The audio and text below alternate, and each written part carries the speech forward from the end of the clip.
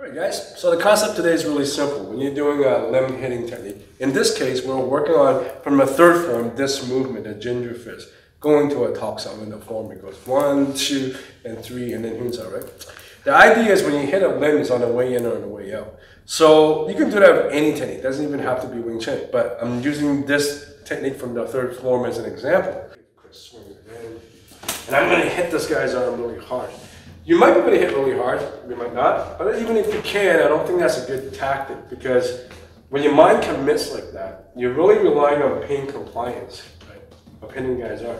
The fact is, the guy has adrenaline up and he's pissed off, a lot of people, you can hurt him as, hurt his limbs as much as you want. They do. They'll just keep fighting, right? So I don't believe in the idea of um, relying on pain. So every time you practice techniques like that, instead of thinking of it like pain compliance, you should think of it like you're is on the way by. So you're either hitting something on the way in or you're hitting something on the way out. In either case, you're not really committing to the limb. So if Chris hits, like there, when I hit Chris's limb, it's on the way towards his throat. I'm not committing to this, right? Because you never know. If he hits like that and he pushes through, when I hit this, he might block this one, right?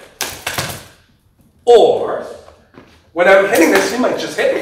And then I have to deal with the hit. Same thing on the other side. This might not hurt him, and then he might hit again, right? Or this might not hurt him, he might hit me another way. And, my, and I have to be ready to deal with it. So you should not commit.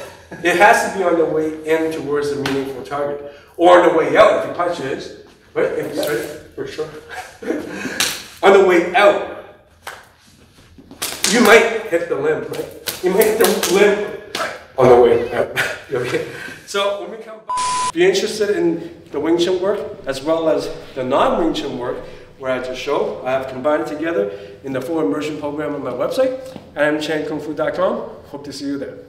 Oh, and also level three will be released in a couple of months. See you next week.